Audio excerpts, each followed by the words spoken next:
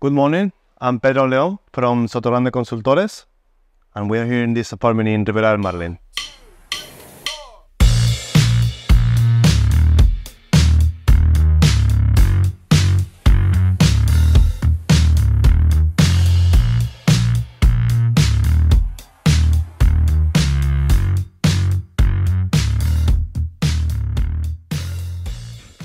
Feature-wise, this apartment is really well built.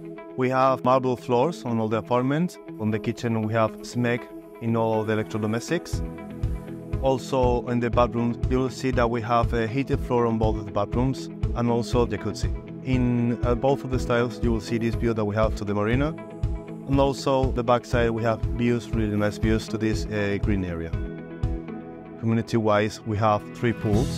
Two of them we have we're nearby here but all the year around. You have a heated indoor pool and also we have the gym, sauna and Turkish bath.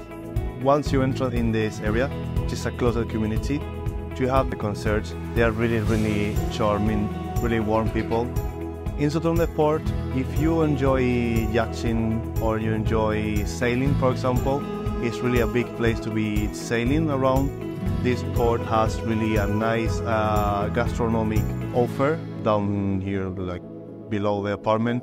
We have uh, places like Foodisia, we have like uh, Don Diego, iCafe, for example, in the mornings, really nice place to go. So you have a nice offer of gastronomy. Nearby, we have the polo fields, Santa Maria and Ayala Polo Club, which you can go also to enjoy. And the afternoon, for example, and there's uh, places, a few food trucks and places to go to eat there, and then enjoy the polo. Oh, this is speaking in the port area. We go to the places, for example, are really nearby Marbella, really nearby also the airports, both of the airports. Gibraltar, it's 20 minutes from here or so. And, and Malaga, it's one hour and a half from here. So you are located in a place which is nice for feeling in a resort the whole year.